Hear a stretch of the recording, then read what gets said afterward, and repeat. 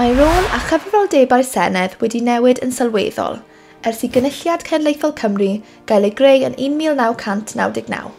Mae'r Senedd heddiw yn gwneud cyfreithiau ac yn pennu treithi Cymreig. Mae'r penderfyniadau hyn yn effeithio ar bawb yng Nghymru. Ond er bod cyfrifoldebau'r Senedd wedi tyfu, dydy maint y Senedd ddim wedi tyfu yr un mor gyflym. Gyda 60 o aelodau'n unig, mae'n llawer llai neu cymheriad yn y Deyrnas Unedig. Mae gan Senedd yr Alban 129 o aelodau ac mae gan Cynulliad Gogledd Iwerddon 90 o aelodau. Nod Bil Senedd Cymru, aelodau ac etholiadau yw creu Senedd Cymru sy'n adlewyrchu Gymru fodern.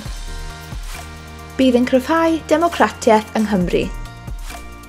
Prif nodau'r bil yw Newid y ffordd rydyn ni'n ethol aelodau Senedd i gynrychioli gwahanol safbwyntiau pobl Cymru – ragor o aelodau Senedd i graffu ar dderfwriaeth, cyllideb Cymru a Treithi ac i ddwy'n Llywodraeth Cymru i gyfrif.